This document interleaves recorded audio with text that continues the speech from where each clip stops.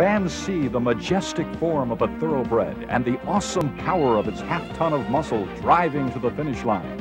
But they can't see inside this splendid animal, nor completely predict its performance on a given day.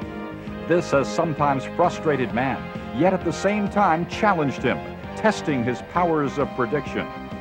It's the lure of the thoroughbred. Talier's Thoroughbred Racing Review for the best of horse racing history on YouTube.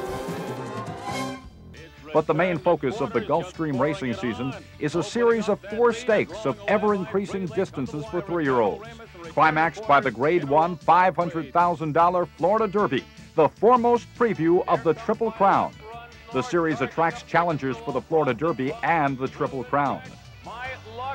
It's the testing ground for would be champions to determine if they can compete at distances approaching those of the Triple Crown events. The series begins with a spectacular bid stakes at six furlongs. The second leg is the seven furlong Hutcheson Stakes. The last preview of the Florida Derby is the Fountain of Youth Stakes at a mile and a sixteenth, just a half a furlong shy of the Florida Derby distance of a mile and an eighth.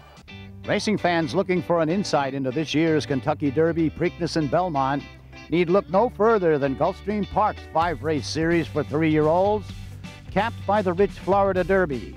It's produced 43 winners of Triple Crown events. The series' first test, the spectacular Bid Breeders' Cup, with eight colts sprinting six furlongs. Ladies and gentlemen, here is the field for today's spectacular bid Breeders' Cup stake. Number one from the 3G stable, Majestic Sweep trained by R.E. Reed Jr. and Julie Krone in the irons.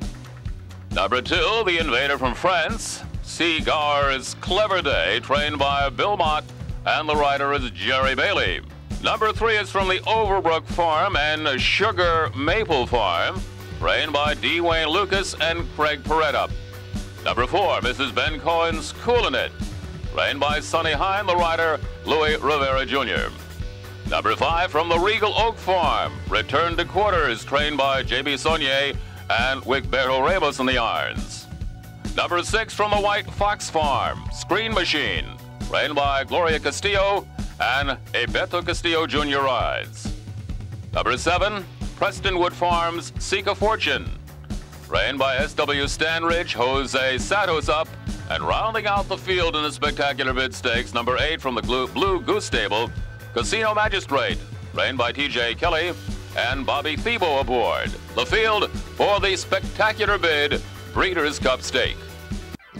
They're off in the spectacular bid Breeder Cup Stake. They all got away uh, in good order. Spreading quickest to the front, return to quarters.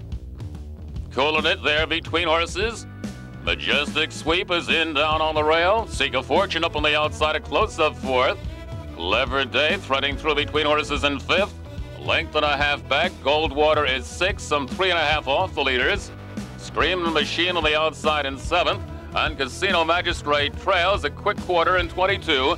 They move around the far turn.